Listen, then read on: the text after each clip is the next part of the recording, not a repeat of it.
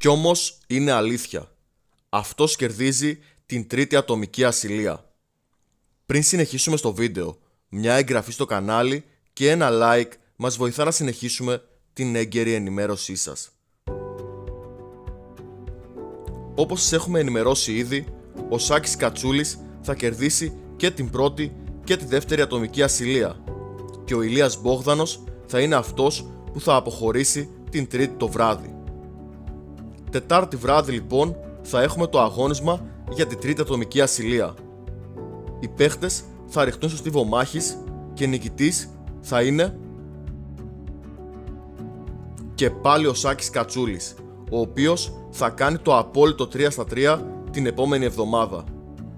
Γράψτε μας στα σχόλια, ποιος πιστεύετε ότι θα αποχωρήσει την πέμπτη το βράδυ. Για οτιδήποτε νεότερο θα σας ενημερώσουμε με νέο βίντεο.